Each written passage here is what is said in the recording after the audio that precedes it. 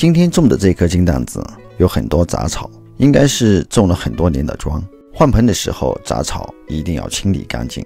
杂草的根系生长过多，会让土壤变得越来越紧，盆景根部不能很好的呼吸，生长会受到影响。拔草还拔出一棵小苗，种在花台里，让它自由的生长。去掉老根再上盆，找了几个小石头填充了一下根部。盆景第一次造型，先做枝条的取舍，过高的枝条剪掉，弯内的枝条也剪掉，摘掉部分叶子，开始造型。这个粗度的枝条造型要方便一些，用两点五毫米的铝线就能固定住。常规造型只要定好飘枝和顶枝的方向，让每一个方向都有枝条分布，整体造型就出来了。这个时候可以看到很多花芽，不知道换盆以后会不会影响开花结果。再次感谢根艺盆景一品花卉送来的素材，我是李向路，我们明天再见。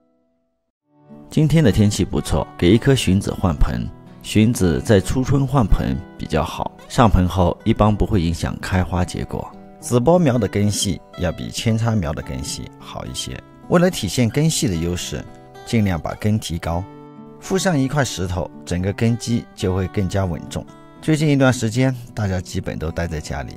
对于种花种草的朋友来讲，应该不会太无聊。正好遇到开春，可以开始大量换盆。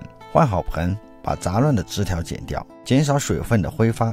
用透明胶带把根和石头裹紧，给提高的根保湿的同时，也可以更好的让根定型。这个大小的盆景，浮盆以后两三个月就可以通过造型做出基本可以观赏的样子。养一年时间，修剪三次左右，就能达到很不错的观赏性了。当然，时间养得越久，越有韵味。好了，请你帮我点个赞。我是李向路，我们明天再见。